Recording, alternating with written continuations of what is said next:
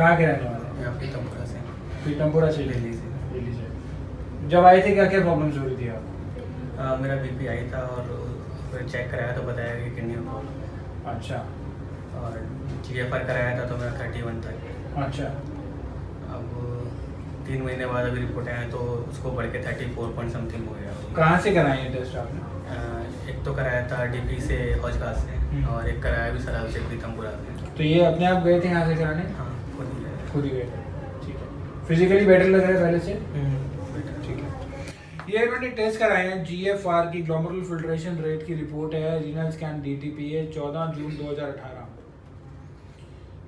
31 के आसपास है इसके अंदर इनका G F R left kidney का 14 है और राइट किडनी का जो है वो 16.9 है। Left kidney appears relatively smaller in size right kidney appears apparently appears relatively smaller in size. दोनों किडनी का साइज़ इस टेस्ट के अंदर स्मॉल है। Smaller than the actual size 14 June 2018 ये बिफोर आवर मेडिसिन आपने ये टेस्ट कराया था। 31 के आसपास इसके अंदर जी अभी आए हैं एक और टेस्ट करा के आए हैं ग्लोमरुल फिल्ट्रेशन रेट का। ये इन्होंने कराया है 19 सितंबर 2018 ये आपने आजकल में ही कराया हाँ। है रिसेंटली कराया है। रिसेंटली कराया इसके अंदर इनका जो जी एफ़ आर है वो गया थर्टी फोर पॉइंट टू के आसपास हो गया। लेफ़्ट किडनी का जी एफ़ आर हो गया सिक्सटीन पॉइंट फाइव और राइट किडनी का सेवनटीन पॉइंट थ्री फोर्टीन से बढ़ के सिक्सटीन पॉइंट फाइव हो गया। सिक्सटीन से बढ़ के सेवनटीन पॉइंट सेवन हो गया। बायोलेटरल किडनीज यानी कि दोनों किडनीज जो है वो normal in size bilateral kidneys appear normal in size और अगर हम यही अब पिछले तीन महीने पहले का देखेंगे तो left kidney appear smaller in size and right kidney appear smaller in size दोनों किडनी का साइज़ पिछले टेस्ट के अंदर जो था वो स्मॉल था। ग्लोमरुल फिल्ट्रेशन रेट जो था वो कॉम्प्रोमाइज था। तीन महीने के अंदर जीएफआर में इंप्रूवमेंट आई। किडनी की फिल्ट्रेशन कैपेसिटी इंप्रूव करी।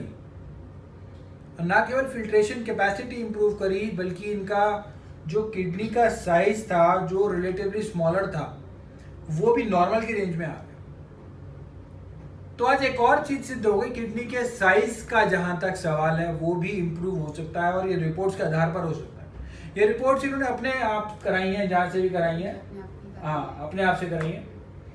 अपने आप से जाके कराई है और अपने अकॉर्डिंग जहाँ इनको सूट करा वहाँ से इन्होंने कराई। दोनों के अंदर जीएफआर में इंप्रूवमेंट आई। कहा जाता है कि ये प्रोग्रेसिव डिज़ीज़ है। क्रोनिक किडनी डिज़ीज़ हो गया अरे अब तो प्रोग्रेस करेगा अब तो कुछ नहीं हो सकता डायलिसिस होगा और कुछ नहीं होगा। डॉक्टर से तो मन एलोपैथी वाले मना ही कर दिया था ना कि हम रोक नहीं मतलब रोक भी नहीं सकते आप डाउन होते ही चले जाओगे। हाँ। तो फिर आपको पता चला फिर यहाँ पे आए तो फिर थोड़ा है कि अब ठीक हो जाएँगे धीरे धीरे। जैसा कि एलोपैथिक डॉक्टर्स ने इनको राइट टाइम पे राइट चीज़ बता दी कि नहीं हो सकता। जनरली डॉक्टर्स भी नहीं बताते हैं कि इसका इस प्रॉब्लम का सोल्यूशन है या नहीं है। तो इनको उन्होंने बता दिया कि ये प्रॉब्लम बढ़ती चली जाएगी रुकेगी भी। नहीं। रुकेगी वो धीरे धीरे आपको डिक्रीज ही कर देगी और एक बार आप एक ना एक टाइम पे आप डायलिसिस पे आ ही जाओगे। इन्होंने तो वो ही दिया था साफ़ साफ़। अच्छा। हम्म, कि जितना चला सकते हो चलाओ उसके बाद फिर डायलिसिस एंड देन ट्रांसप्लांट अच्छा। तो ये बिल्कुल स्पष्ट एक किडनी रोगी की कहानी है कि डायलिसिस होगा और फिर ट्रांसप्लांट होगा और जब तक चल सकता है चला लो लेकिन इसको रोक नहीं सकते। तो क्या ये सत्य है? सत्य है अगर तो ये रिपोर्ट्स जो हैं वो क्या बता रही है? रिपोर्ट बता रही है कि जी एफ़ आर हुआ और किडनी का साइज़ भी इम्प्रूव किया। तो आज कर्मा आयुर्वेदा ने एक और पेशेंट के द्वारा सिद्ध कर दिया कि किडनी जो है वो लाइलाज नहीं है, उसका इलाज संभव है। G F R glomerular filtration rate को बढ़ाया जा सकता है। रिपोर्ट्स के आधार पर बढ़ाया जा सकता है।